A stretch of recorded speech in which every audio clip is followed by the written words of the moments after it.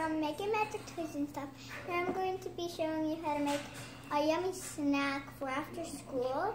If your school allows you to have peanut butter, then you can go for this for school, but my school doesn't, but it's still a yummy snack. Good for the Um, car. Yeah.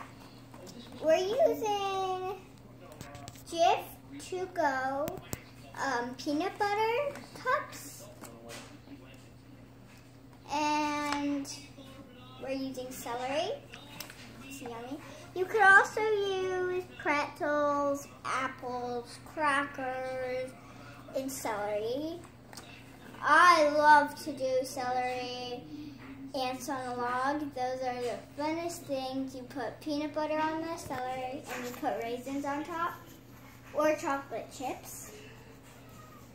So you cut up your celery did that. But I'm having a drink because it my mouth gets dry sometimes and I always need a drink so I just have some Gatorade. I have I had a knife to cut up and I have some celery on a cutting board and some peanut butter. So you can take a butter knife and spread it.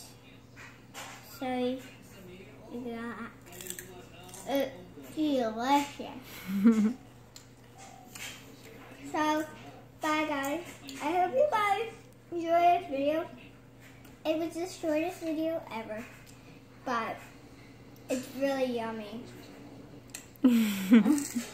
um, Try ants on a log at home. What's ants on a log? it's celery. You spread peanut butter on top of it. You put raisins or chocolate chips, and it's called ants on a log. Uh, so, bye guys. I will see you next time. It'll probably be in a couple minutes because this is a hint.